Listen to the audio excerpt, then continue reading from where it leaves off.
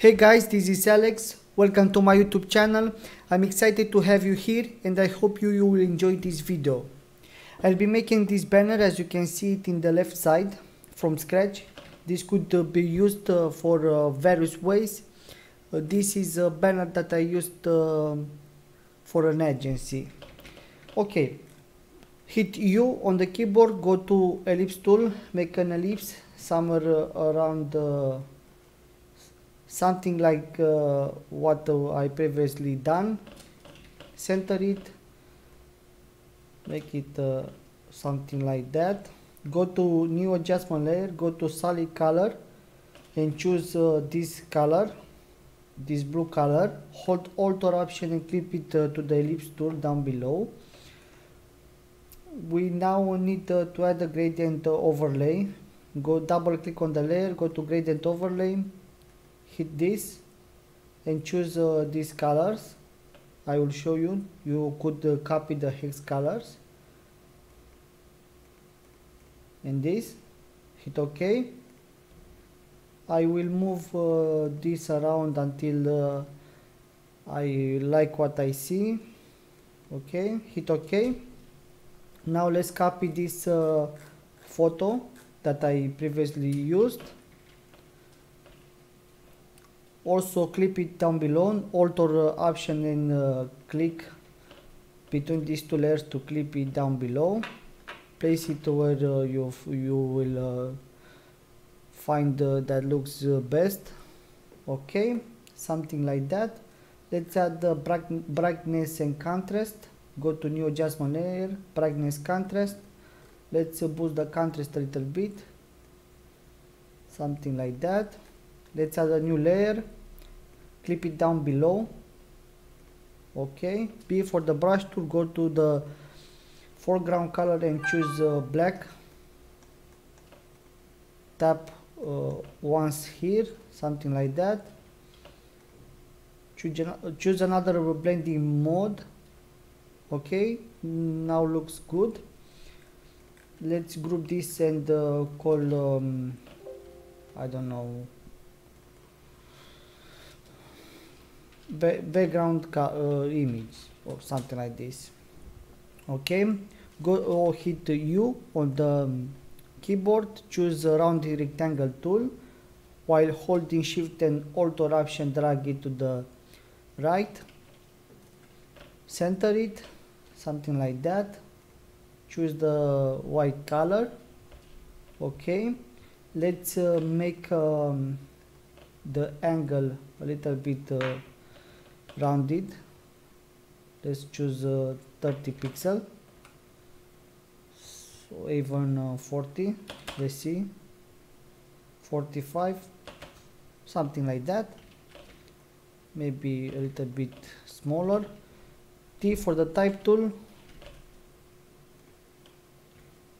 S.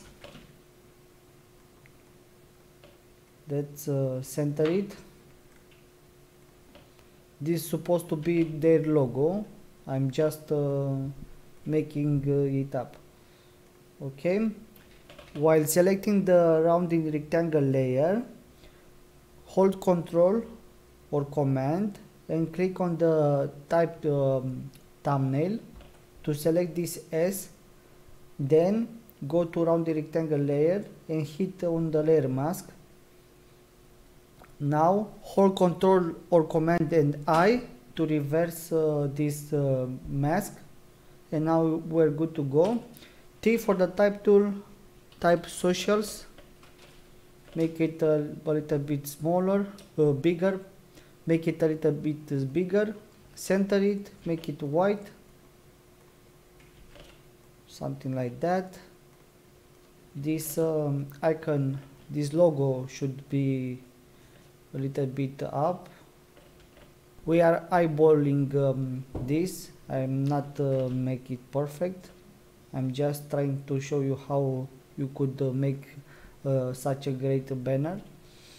Okay what uh, should we add? We could, we could um, make uh, this um, I don't know pattern if you like. Let me show you how I did it let's group this together. Let's say uh, this is our logo folder. Hit U for the rectangle tool. Choose rounding rectangle tool. Draw a rectangle. Choose the color white. Make it a little bit smaller. Maybe something like this. Okay. Choose an angle. Let's say this is uh, good and um, click on the layer mask go for the gradient uh, tool or G on the keyboard. Make sure you have this um, black and uh, black to transparent not black to white. Choose black to transparent hit ok. And the drag it drag in the same angle from the top uh, right to bottom left something like this okay now we supposed to um, du duplicate uh, this across our um, banner. Okay something like that. I was um, I was very careful when I originally made this but uh, I want you to understand um, what's the process be behind the, these uh, lines if you like this pattern. Okay. Something like that. You should you could uh, use the brush tool to achieve the same effect uh, as you could uh, done with the gradient tool. Okay. Like this make it smaller try to diversify.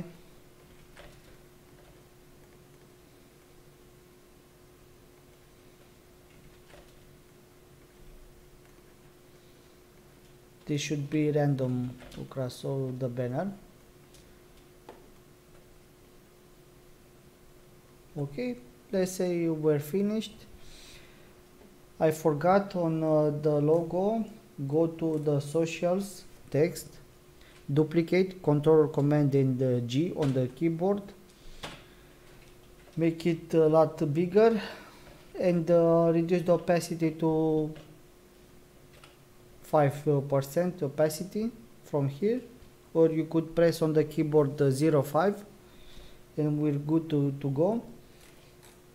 Under the background image folder make a new layer B for the brush tool hold alt or option to choose a color from our banner.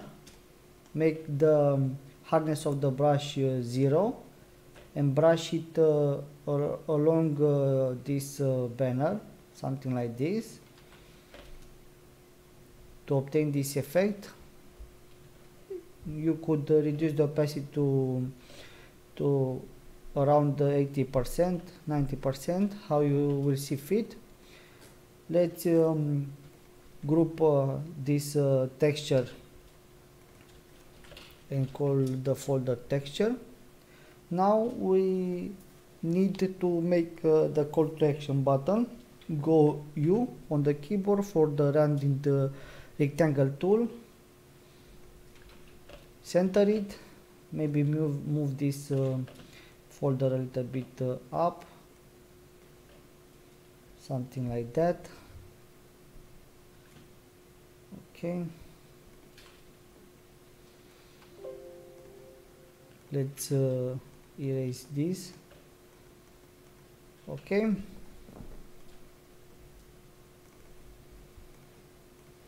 I uh, added um, an uh, effect, an uh, gradient effect to be consistent across uh, all um, the design. Let me copy to be exactly sure that uh, I make uh, the same gradient. This is the same process, double click on the layer, go to gradient overlay and choose a gradient. Drop shadow you should add a little bit of shadow okay hit ok let's um,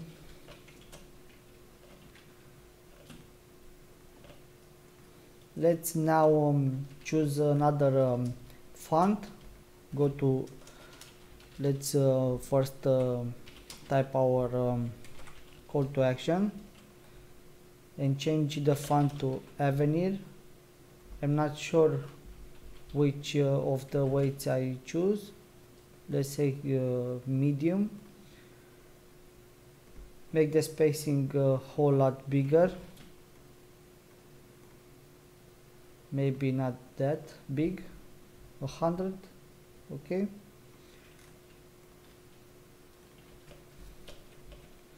Go to U on the keyboard go to ellipse tool make an ellipse try to place it uh, in the middle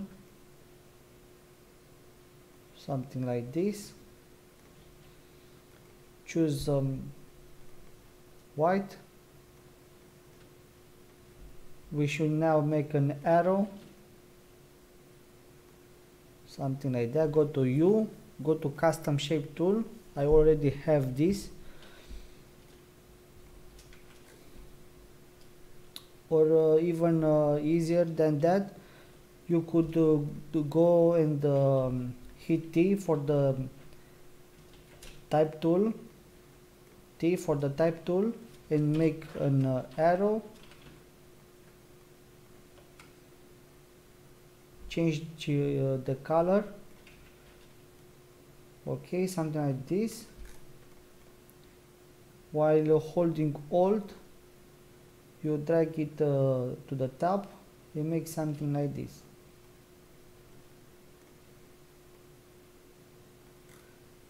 For better results you could use another font. Or you could have let's move go with Poppins okay like this. You get the point. Okay that's it uh, all for today. I hope this inspires you to make great designs and to play with different styles. I found this method of teaching with the original design on the same artboard much faster. This allows me to make more videos let me know if you have any questions or if you just want to say hi in the comments below or on my social media channels. I'll be making more of these tutorials in the future and as my channel will develop, I'll include more knowledge, tips and tricks and much more. So please make sure to comment, like and subscribe. My name is Alex and I'll be seeing you in the next one. Thank you for watching.